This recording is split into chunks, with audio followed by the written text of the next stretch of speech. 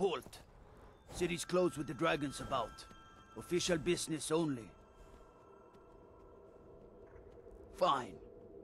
But we'll be keeping an eye on you.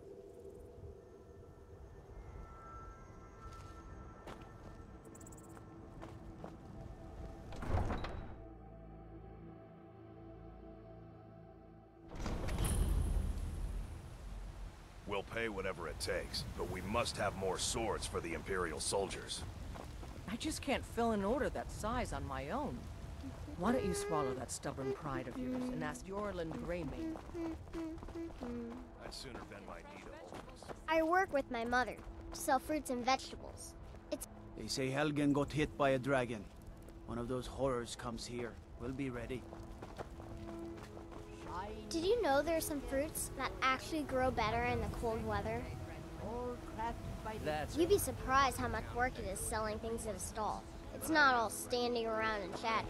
I ain't hurting I spend a lot of time at the market stall so I can learn the merchant's trade. Mister, could you spare a coin?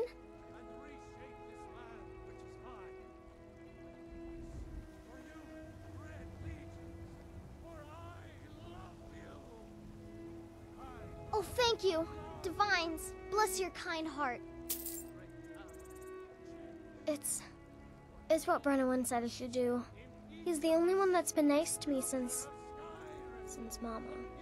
Since she died. My aunt and uncle took over our farm and threw me out. Said I wasn't good for anything. I wound up here, but. I, I don't know what to do. I miss her so much.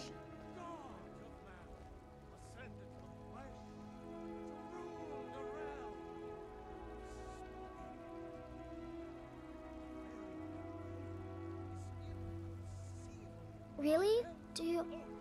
Do you have a place I could live?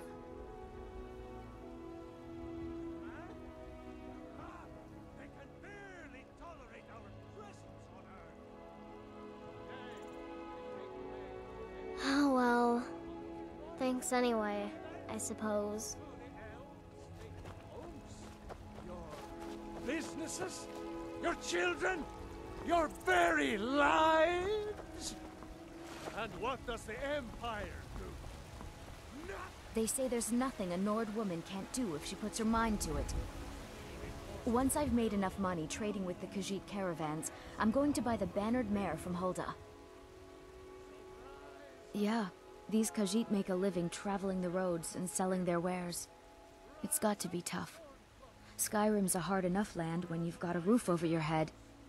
Worst thing is, nobody wants them in the cities. Nobody trusts them. Matter of fact, I do. They've been fair enough with me, far as I can tell. And a Nord knows a liar when she sees one. About the same as everyone else. They're the catfolk of Elsweyr. Great warriors, good traders. Way I hear it, Elsweyr ain't nothing like Skyrim.